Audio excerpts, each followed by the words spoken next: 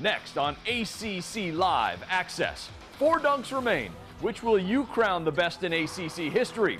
MJ's Rock the Cradle against Maryland is in trouble. And speaking of Tar Heels Terps, they meet tonight. Maryland truly needs to go big or go home. Big man Alex Len could be the key and could save their season. Plus, Wake Forest beats Miami, and here they come. we've seen it again and again court storming. I asked Commissioner John Swofford if it's something that should be stopped. ACC Live Access starts now. History last night on senior night at Cameron with Duke's win over Virginia Tech. Mike Krzyzewski passed Dean Smith for most wins coaching in the ACC, 880. He also passes Smith to move into second place for the most wins at one school. Only Jim Boeheim has more. Coach K now with 953 wins all time. He's number one. Welcome to ACC Live Access. I'm Jeff Fischel. J.R. Reid is here with me on a Wednesday. High siding with you, man. Back again, JR. I'm not going to make you compare your mentor, Dean Smith, to Coach K, but there's no doubt with every with every milestone, Coach K is adding to his legacy. Oh, absolutely, Jeff. But it's class personified. He's done it the right way. He's done it without talent. He's done it with talent. You can't say enough about him. Kudos, Coach K and Duke University. And let's not overlook Ryan Kelly last night on senior night. Game two of his return, another fine performance 18 points, nine rebounds. He just keeps rolling them up. You know, and for a guy that's been out of, for so long with a nagging foot injury, for him to come back and play the way that he has has been phenomenal, especially, like I said, with just a couple of games under his belt. He was really great, I've got to say, on the pick and roll with Seth Curry. He freed up Curry again and again. Well, you know, this is a, a staple of Duke basketball. They love to run the high set, one one four high set, and they they create space, create spacing with great shooters, and the guys like they have on the perimeter, man, makes it real easy. Not only can Kelly score, but do not discount the way he defends, rebounds, and just makes their offense run better. Now, coming up, I talked to Commissioner John Swofford. He lets me call him Swaff. no, not really. So he and I will talk about the ACC tournament, court storming, and his memories of Michael Jordan at UNC. Swofford was the athletic director in Chapel Hill back in the day for you as well, right? Absolutely, a lot of right. fine work. So that's coming up. And speaking of Jordan at Chapel Hill, he's one of the four semifinalists in our competition to choose the best dunk in ACC history. We're calling our month of voting Dunkuary. If you want to vote, go to theacc.com slash Dunkuary. Voting for the semifinals closes at 9 a.m. Eastern tomorrow. And I have to tell you, we could be in for a shocker. Show him the bracket, JB. Jeff Teague versus Ishmael Muhammad. That's one half. The other half, Michael Jordan versus Mustapha Farrakhan. That left half of the bracket, Teague the nine seed. He's already upset Vince Carter, now going against Georgia Tech's Ishmael Muhammad. Similar dunks, but only one can advance to the championship. Teague going strong in 2009 against Maryland, JR. Oh, yes, this is a nice one over the big fella against Maryland. I like that. Pumps the chest and lets everyone know about it right there. Ishmael Muhammad go back to 2005, same spot on the court. He was known as a vicious dunker. Oh, it's not good. When he started that move with a spin move on the sideline and then lines up the young fella, I don't know what he did to make him dunk on him like that. That's just not right. Thought he was going to take the charge, and then he just ducks out of the way. I said Ishmael with accent. That's what So if, so if you had to pick one, who would you pick going to the final? I think as, as nice as a dunk as Jeff Teagues was, Ishmael was just that much nastier. The way that he went up and finished on top of someone's neck automatically, I think, should advance you. Now, the other semifinal, here is the dunk that's shocking everyone. Mustapha Farrakhan, our 15 seed. So far, he's beaten the two seed Dahntay Oh, Jones doing push ups. That's a Oh. strong dunk right there. Oh, that is Mustapha. Farrakhan's also beaten the 10 seed Len Bias, that classic jam, the reverse when they upset North Carolina and Chapel Hill. But now he's trying to slay another giant, Michael Jordan. Oh, this is the dunk. Come on, before this, before this, it had never been done before, and it took Black Cat, as we called him, to do it, to bring it to life like he did in the ACC. So clearly, we know which dunk from that semifinal you want to advance. Uh, absolutely, I've got to go with Jordan. With the, the cradle dunk, man, that's that's iconic.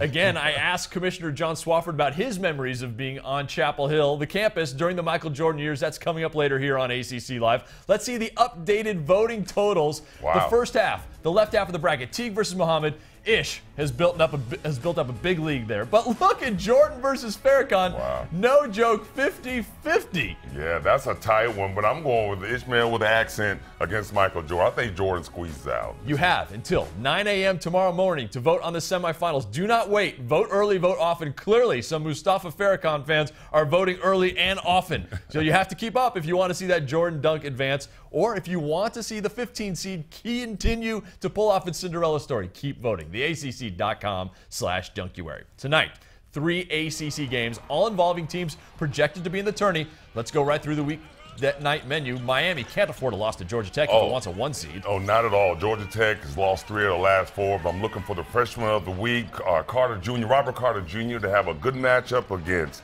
Rodney Johnson that's struggling after 0 for last game. NC State looks for revenge against Wake Forest. Yeah, Wake Forest is always going to play them tough, but for NC State, it's about them. They've got to look inward. They've got to come out with a good execution and have the right mind frame. Chemistry's been a little problem for NC State lately. And PJ Hairston and the Blue Hot, yes, Blue Hot Tar Heels against Maryland. North Carolina has won five in a row. The Terps still have an outside shot at grabbing a bid. Dez Wells did everything he could in the win over Wake Forest on Saturday 11 of 12 from the field. So that's tonight's big game. The Tar Heels and the Terps. And that is our spotlight game. Maryland and Carolina. Mark Turgeon and Roy Williams, they've spent a large part of the season trying to solve a puzzle. They have the pieces, but can they make them fit together? JR, how have they done? I think they've done very well. But beginning of the season, ah, the jury was still out on Tar Heels a little bit. But recently they switched to small ball. PJ Hairston moved into the starting lineup, and it's been good news for the Tar Heels. Here, you'll see that this wasn't a good matchup. They had the wrong player on Bullock, and Carolina recognized and got the spot up three. Here, they're small, but they're tenacious inside. PJ Hairston making himself felt inside as, as well as outside, and that energy. This is what he's brought to Carolina in space in the court.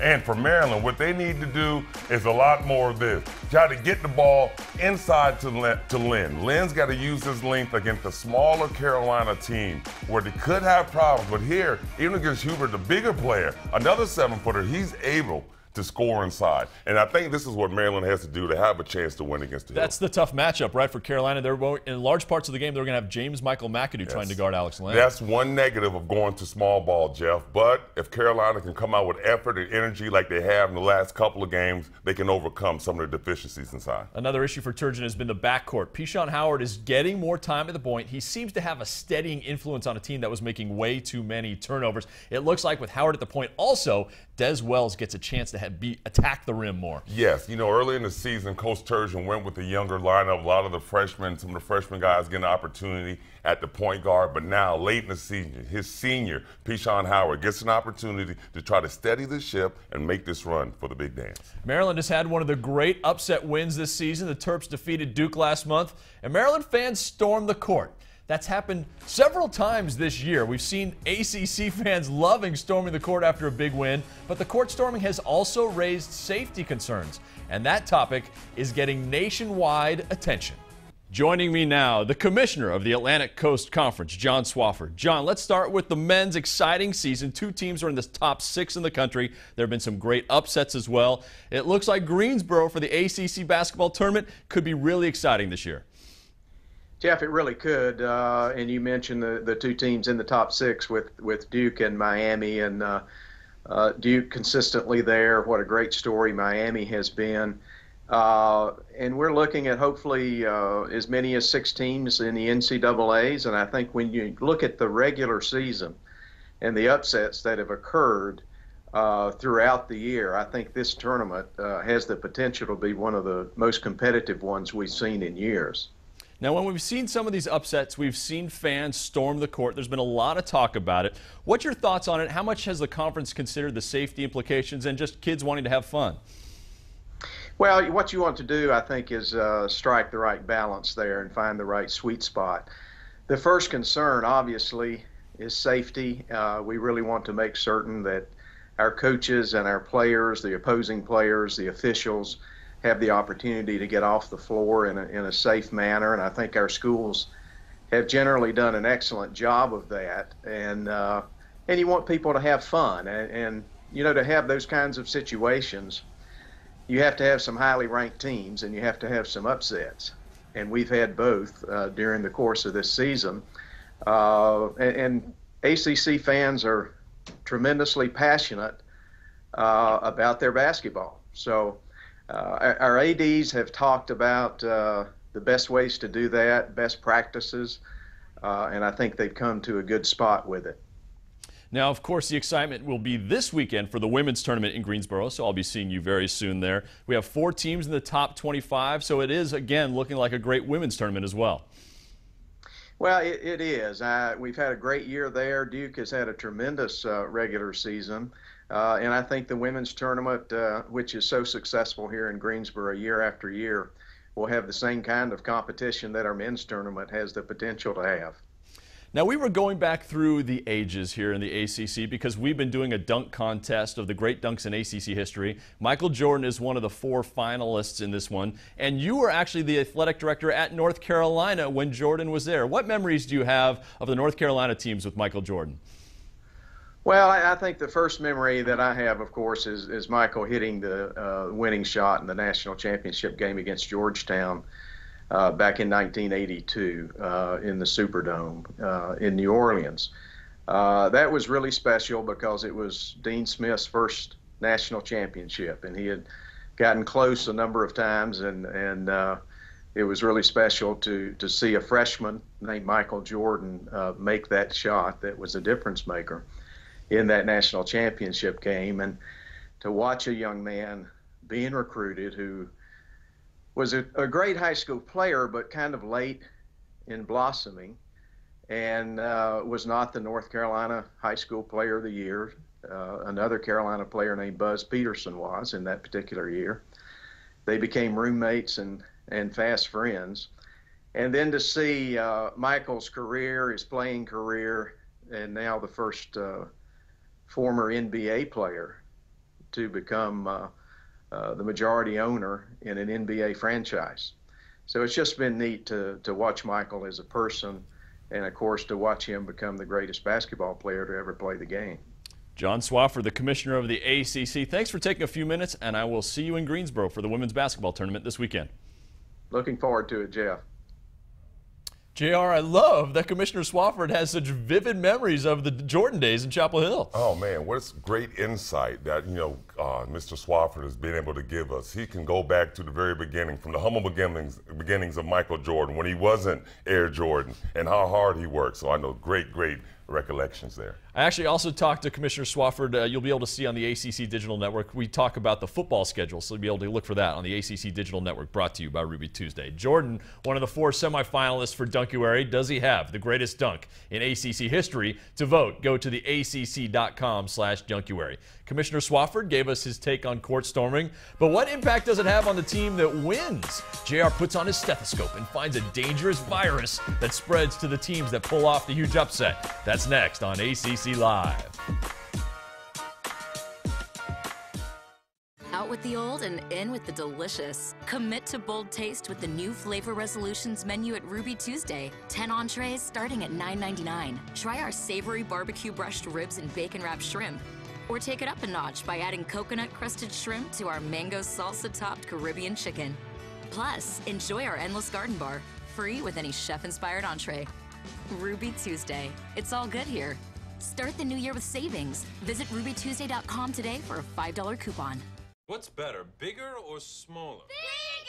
So which would you rather have, a big treehouse or a small treehouse? If it's big enough, you can have a disco.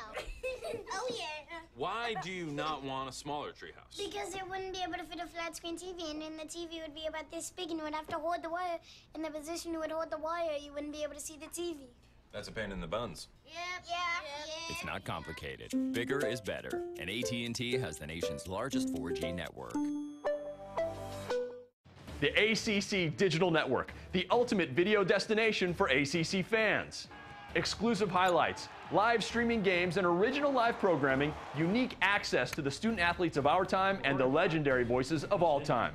Defining moments, personal stories, incredible analysis from authentic ACC sources, cutting edge content from the leaders in the digital space. The ACC Digital Network, brought to you by Ruby Tuesday.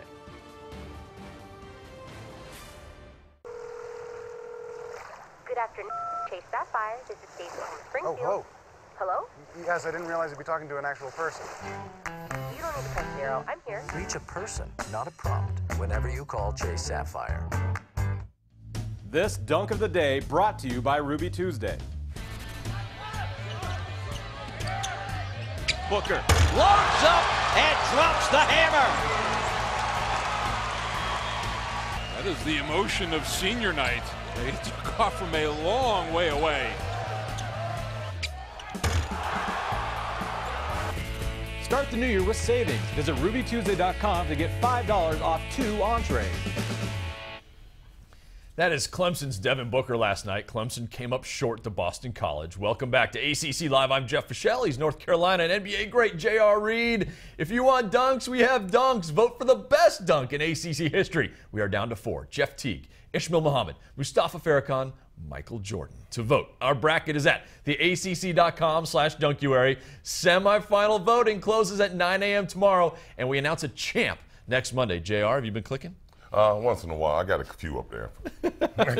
Jordan needs all the votes he can. You need your North Carolina dunk to advance. Now it's time for other stories from around the conference. This is the ACC Now.